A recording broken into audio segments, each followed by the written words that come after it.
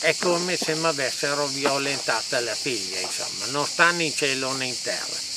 Questa è una cosa che per me è inaccettabile. Io che abito dall'altra parte del Ticino, perché abito a Besate, mi sembrava di averli sotto casa e non deve più succedere nel modo più assoluto. Guai a Dio il mondo se dovesse ricapitare perché mi arrabbierei molto e andrei a far valere le mie ragioni da qualsiasi parte. Roma è lontana ma non poi così tanto.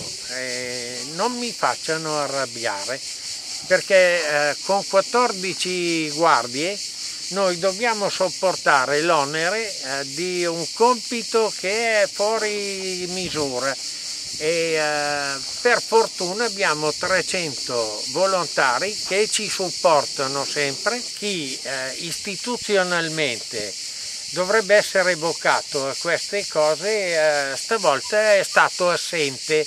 E la cosa mi infastidisce non poco perché io in due giornate non sono riuscito a mettermi in contatto con eh, le istituzioni ci sono ancora una ventina di irriducibili al Bosco della Lite nei pressi della frazione sforzesca di Vigevano, ultimi rimasti del migliaio che nel weekend ha animato il rave party durante il quale un ragazzo di 20 anni è morto annegato nel Ticino. In attesa che anche questi giovani levino le tende è iniziata la conta dei danni. I ragazzi hanno raccolto i rifiuti nei sacchi e questo renderà più semplici le operazioni di pulizia, ma rimane da raccogliere il tutto. La competenza è del parco, ma è vicino l'accordo con Comune SM. Quest'ultima metterà a disposizione i mezzi, mentre un gruppo gruppo di volontari, reclutati tra servizio civile, guardia parco e associazioni, si occuperà della manodopera. Si stima una camionata di rifiuti. Il problema più grosso però sarà nel recuperare l'aria dal punto di vista ambientale. I danni non sono visibili ma risultano molto ingenti. Gli animali, spaventati dalla massa di gente e dalla musica ad altissimo volume, sono tutti scappati.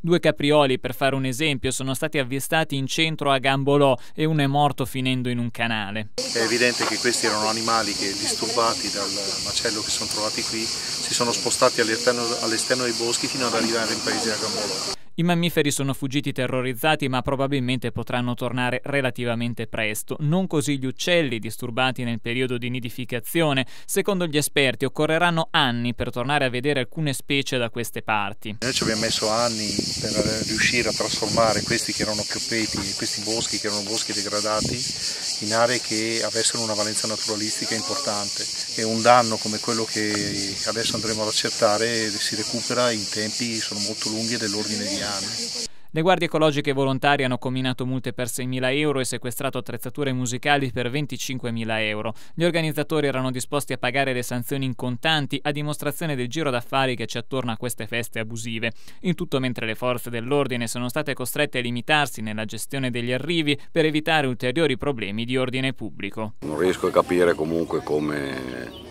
nel 2017 si possa ancora lasciare fare queste cose in un ambiente protetto, un parco regionale. Le forze dell'ordine purtroppo, devo dirlo con rammarico, con le leggi italiane hanno le mani legate, cioè non hanno potuto fondamentalmente fare più di tanto, anzi hanno rischiato sinceramente loro di persona nel tentativo di bloccare o comunque di mandare via parte dei partecipanti.